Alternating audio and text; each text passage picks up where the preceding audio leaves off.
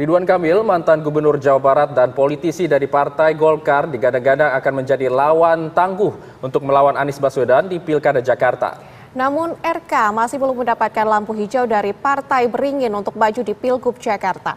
Sementara Ketua Umum PAN, Zulkifli Hasan akan mengusulkan nama Ridwan Kamil untuk maju sebagai calon gubernur di Jakarta.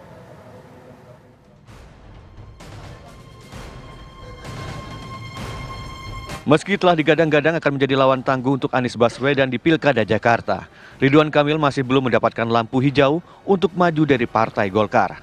Ketua Umum Partai Golkar Air Langga Hartarto pun menyebut soal kans Ridwan Kamil untuk maju berkontestasi dalam Pilgub 2024.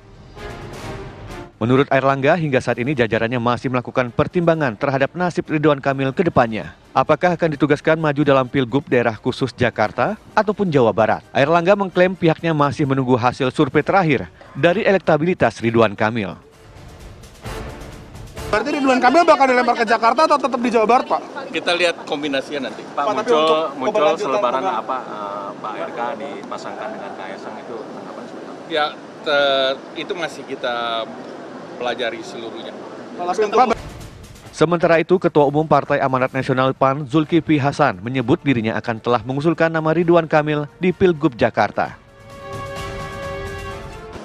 Saya lapor waktu itu kan Pak Presiden, kalau Kaisang boleh nggak gitu. Pak Presiden bilang jangan ya. Tapi kan partai-partai perlu. kata, kata Mas Kaisang Iya. bilangnya itu kan versi Pak Zulhas. gitu. Iya, tapi kan partai-partai per- perlu kan. Perlu apa? Agar bisa menang gitu. Perlu perlu- Namun hingga kini nama Ridwan masih belum secara resmi dideklarasikan sebagai calon gubernur di Jakarta. Sementara Anies Baswedan sudah mulai ambil posisi untuk menjaring dukungan dan koalisi partai politik yang akan mengusungnya di Pilkada Jakarta. Tim TV One mengabarkan.